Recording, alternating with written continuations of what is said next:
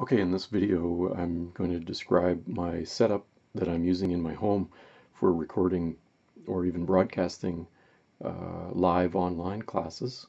Uh, in the foreground you can see a mount that I use for the webcam. It's actually the webcam I'm holding in my hand right now. It goes on this, uh, this stand. And then I shoot through something called a light board. And the light board is a piece of glass that's illuminated on the uh, perimeter originally intended as a desktop light board, but I could never get the lighting quite right in my office. Um, but it seems to work well in this room. I can control the light quite a bit better.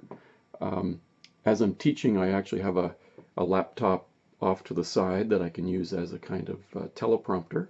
And I also have a connection to uh, another monitor that lies flat in front of me, and I use that monitor to monitor the chat during the online classes.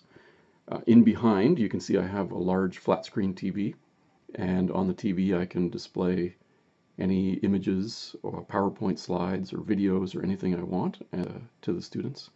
Uh, I have an old uh, desktop machine.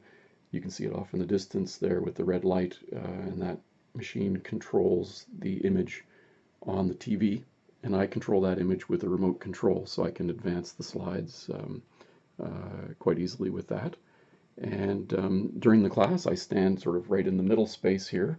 So uh, you can see the computers that I control on the front side and the computer I control on the back side. It's kind of a tight space, but it seems to work.